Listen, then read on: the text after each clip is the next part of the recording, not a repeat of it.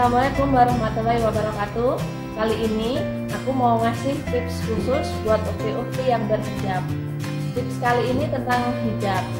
Untuk ukti-ukti yang bekerja di kantoran Otomatis mengenakan hijab sepanjang berada di kantor.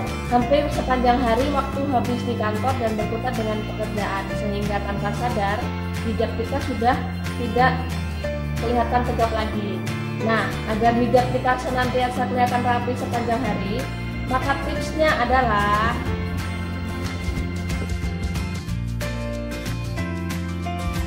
Tada! Kita siapkan sebatang pipet atau sedotan air mineral ukuran ini. Kenapa kita pakai sedotan? Karena besar dan panjangnya pas. Jadi kita besar repot ngukur-ngukur. Nah, sedotan tersebut akan kita selipkan di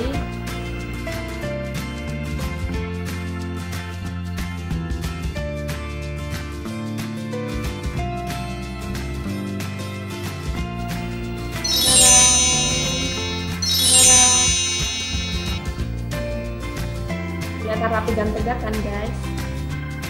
Oke demikian tips kali ini. Assalamualaikum warahmatullahi wabarakatuh